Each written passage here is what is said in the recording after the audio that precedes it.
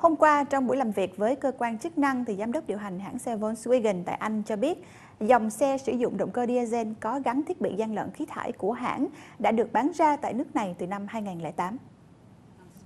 Trả lời câu hỏi chất vấn của Hội đồng Giao thông Anh Quốc, đại diện Volkswagen cho biết những chiếc xe có gắn thiết bị gian lận khí thải đã được bán ra tại nước này từ năm 2008. Tuy nhiên, đến ngày 19 tháng 9 năm nay, lãnh đạo hãng mới biết đến vụ bê bối thông qua những lùm xùm tại thị trường Mỹ.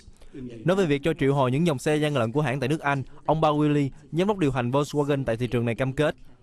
Chúng tôi sẽ bắt đầu triệu hồi những dòng xe dính vào vụ bê bối này vào quý 1 năm 2016. Trước tiên là những dòng xe động cơ diesel có dung tích 2 lít. Sau đó, chúng tôi cam kết sẽ liên lạc đến từng khách hàng để dần triệu hồi hết những xe bị lỗi. Cũng theo ông Boswell, Volkswagen sẽ làm mọi cách để lấy lại niềm tin từ khách hàng.